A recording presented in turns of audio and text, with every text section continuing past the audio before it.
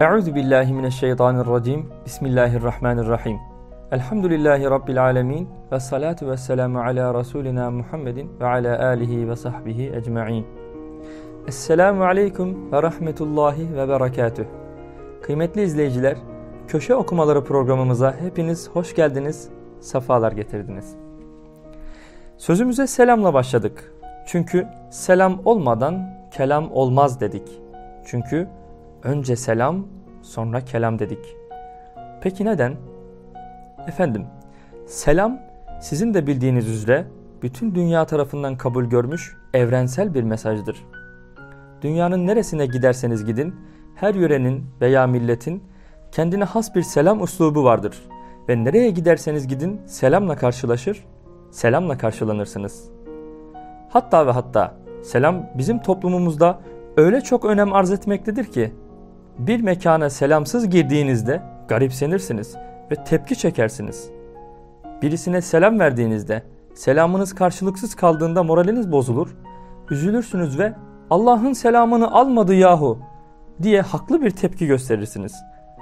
Tepkinizde haklısınızdır çünkü selam Allah'ın selamıdır. Bir dükkana girdiğinizde verdiğiniz selam karşılıksız kalırsa Allah'ın selamını almayanla alışveriş yapmam der ve gerisin geriye çıkarsınız. Kıymetli izleyiciler, selam toplumumuzda öylesine önemli bir yere sahiptir ki bir kişiye verdiğiniz selam alınmadığında üçüncü şahıslar direkt olarak o şahısla dargın olup olmadığınızı sorgulamaya başlarlar. Selam aynı zamanda muhabbet başlatan, muhabbet ölçer olarak görülen bir ifadedir. Peki, selamı toplumumuzda, örfümüzde, dinimizde böylesine kıymetli kılan husus nedir? Nedir bir kulun diğer bir kula söylediği söz olmasına rağmen selamı Allah'ın selamı yapan husus? Yazar Ali Ulvi Uzunlar Hoca Efendi Evrensel Mesaj Selam isimli kitabında gayet güzel açıklamış efendim. Hep beraber okuyoruz.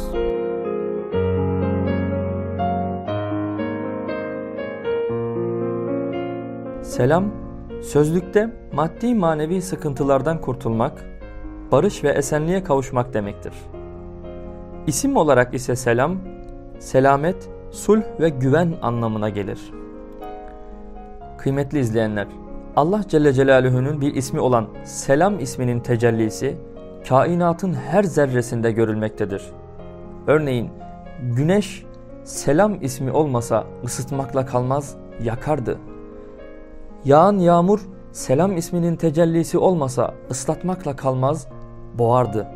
Selam Yunus Aleyhisselam'ı boğmayan deniz, İbrahim Aleyhisselam'ı yakmayan ateş, bir taraftan inanmayanları yerin dibine batırırken öbür taraftan inananları ve Nuh Aleyhisselam'ı dağların zirvesine çıkaran tufandı. Selam selamette olmaktı, güvende olmaktı, esenlikle kalmaktı selam. Peki her şeyin bir kaynağı olduğu gibi selam sözcüğünün kaynağı nedir? Selam bize kimden miras olarak kalmıştır? Okuyoruz efendim. Hadis ve İslam tarih kitapları iyice tahkik edildiğinde selamın beşeriyet tarihinde ilk kez babamız Adem aleyhisselam ile başladığını görürüz. Bir hadisi şerifte Efendimiz sallallahu aleyhi ve sellem şöyle buyurmaktadır. allah Teala Adem aleyhisselamı boyunu 60 zira olarak yarattı ve ona git şu meleklere selam ver ve senin selamını nasıl alacaklarını iyi dinle. Çünkü bu hem senin hem de senden sonra gelecek olan neslinin selamı olacaktır buyurdu.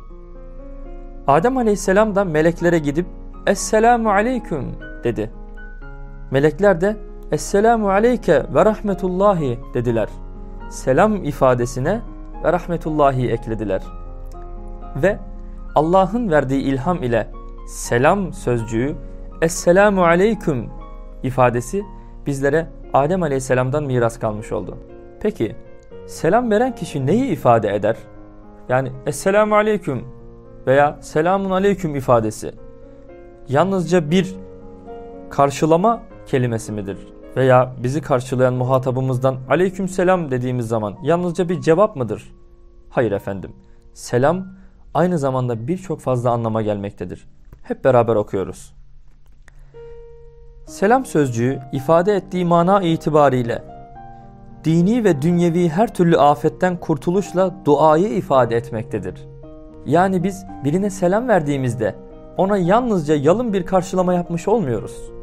Selam ifadesi ile Esselamu Aleyküm dediğimizde ona çok hayırlı bir dua etmiş oluyoruz. Bir değil birden fazla dua etmiş oluyoruz. Çünkü Rabbimizin selam isminin ne kadar tecellisi varsa onun üzerinde göstermesini istiyoruz Rabbimizden. Ya Rabbi bu kişiyi esenlikle kıl. Bu kişiyi selamette tut. Bu kişiyi güvenlikte tut. Bu kişiye hayırlar ver. Bu kişiye dünya ve ahiret saadeti ihsan eyle. Müslümanların birbirlerinin kan, can, mal, namuslarını koruyacaklarına dair olan ahdi tazelemeyi ihtiva etmektedir. Çünkü kişi selam vermekle muhatabına sen benden tam bir eman üzresin buyurmuş olur. Selam veren kişi girdiği mekana veya karşılaştığı kişiye selam verdiği kişiye aynı zamanda bir eman sözü vermiş olur. Sen benden güvendesin. Benim elimden ve dilimden korkma. Benden sana zarar gelmeyecek. Bunu söylemiş olur selam veren kişi. Son olarak Allah'ın isimlerinden bir isim olmakla birlikte selam veren kişi sözüne Allah'ın ismiyle başlamış ve Allah'ı zikretmiş olur. Yani her Esselamu Aleyküm dediğimizde Allah'ı zikretmiş oluyoruz. Çünkü Allah'ın 99 isminden biri de Esselam. Peki burada bu sözcüğü kullanmamızın amacı ne? Neden başka bir sözcük değil? Allah Celle Celaluhu'nun neden başka bir ismi değil? Neden selam söylüyoruz? Veya günümüzde yaygınlaşan bazı ifadeleri örnek verdiğimizde neden sadece günaydın demek, hayırlı sabahlar demek selamsız bırakıldığında eksik bir temenni oluyor? Okuyoruz. Aynı zamanda Allah'ın kullarına selamet dileğini ifade etmekte bunda mevcuttur. Selam isminde mevcuttur. Çünkü Allah'ın isimlerinden biri olan selamın insanlara bakan yönünde kullarının selametini dileyen ve onları selamete erdiren anlamı vardır. Dolayısıyla Esselam sözü ile başlamak bu latifeye işarettir. Son devrin mümtaz alimlerinden merhum Elmalılı Hamdi Yazır Hoca Efendi bu konuda özetle şöyle der. İslamiyet'ten önce yani cahiliye döneminde Araplar bizde Allah uzun ömürler versin anlamına gelen hayyekallah derlerdi. Özetle Araplar İslamiyet'ten önce Allah uzun ömürler versin manasına tekabül eden bir temennide bulunurlardı. Fakat bunlar birer dua olmakla beraber hayırlı bir dua değildir. Allah uzun ömürler versin demek nasıl hayırlı bir dua değil? Zira ömür, hayat her zaman selamet ve saadeti icap etmez. Felaket içinde de geçebilir. Kıymetli izleyenler, hepinizin de bildiği üzere nice hayatlar var ki ızdırapla dolu, çileyle, işkenceyle, dertle, gamla geçen ömürler var. Öyle hayat sahipleri var ki binlerce defa ölmeyi dilemişler. Kendilerine Allah uzun ömürler versin temennisi dua değil, beddua olarak gelmekte. Allah ömürler versin denildiği zaman muhatap bu mana kastedildiğini farz ederek hoşlansa da bir gaflettir.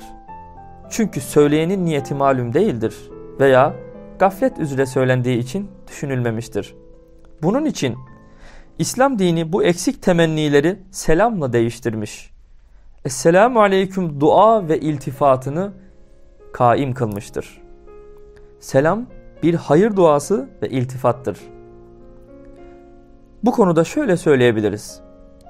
Dünya ve ahiret saadet ve selametine dua anlamına gelen selam ile günaydın, hayırlı işler gibi sadece dar bir çerçevede hayır dilekte bulunmak arasındaki fark aşikardır. Selamdan sonra bunlardan birinin söylenmesinde bir sakınca yoktur. Asıl sakınca bunları selam yerine yerleştirip selamı terk etmektir.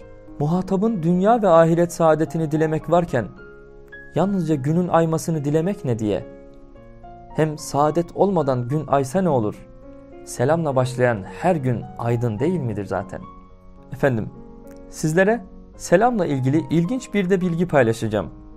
Bizler selamı hayatlarımıza ne kadar yerleştirdik ve ne kadar yaşıyoruz bunu ölçmemiz dileğiyle. Sahabe-i kiram İslam'ın her şeyine ışık tuttuğu gibi dünya ve ahiret saadetiyle de dua manasını ifade eden selamı her fırsatta değerlendirmişlerdir. Yolda beraber yürürken aralarını bir ağaç ayıracak olsa bunu da selamlaşmak için fırsat sayıp değerlendirirlerdi. Ayrıca sırf selam verip almak için ve böylece selamlaşmanın sevabına erişebilmek için çarşıya, pazara gittikleri rivayet edilmektedir. Efendim, malumunuz üzere selam vermek sünnet, almak farzdır. Selam öylesine faziletlidir ki bir kişi verilen selamı almadığında Allah Celle Celaluhu sağ omzundaki meleğe aldırmak suretiyle selamı asla ama asla yerde bırakmaz. Kıymetli izleyenler, selam öylesine faziletlidir ki bir kişi selamı almadığı zaman günahkar olur. Hatta selamı veren kişi selamı geri aldım, hakkımı da helal ettim dese bile selam Allah'ın selamı olduğu için ve Allah'ın hakkı kul hakkından daha ağır bastığı için kişinin bu günahının temizlenmesi için samimi bir tevbe gereklidir. Selam öylesine faziletli bir ameldir ki Peygamber Efendimiz'e selam verildiği zaman şayet abdestli değilse teyemmüm alıp selama öyle yanıt verdiği görülmüştür. Muhterem dostlar, selam Allah'ın selamıdır. Selamı kıymetli yapan şey aslında budur. Selam Kur'an-ı Kerim'de 45 defa geçmektedir. Birçok ayette, sayısız hadisi şerifte selam vermek, selamlaşmak, aramızda selamı yaymanın önemi defalarca vurgulanmıştır. Peygamber Efendimizin her zaman ilk tavsiyelerinden birisi olmuştur. Selam, müminler arasında yapılabilecek en kıymetli amellerdendir. Müminin, mümin kardeşi üzerindeki haklarından ilkidir ona karşılaştığında selam vermek. Kulun kula verdiği selam bu kadar kıymetli ise Allah Celle Celaluhu'nun bize vereceği selamın kıymeti kim bilir nicedir. Allah bizlere cennette selamını bizzat kendisinden alabilmeyi nasip eylesin. Bizlere cennette selamlaşabilmeyi nasip eylesin. Efendim bir programımızın daha sonuna geldik. Sizleri Allah'ın selamı ile selamlıyorum. Esenlikle kalın, selametle kalın.